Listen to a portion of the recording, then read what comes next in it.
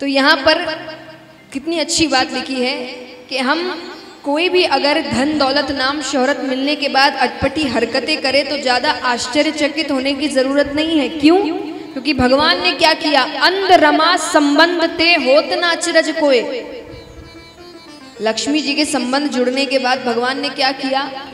कि अंध रमा संबंध ते होत न अचरज कोय और कमल नयन नारायण हूँ।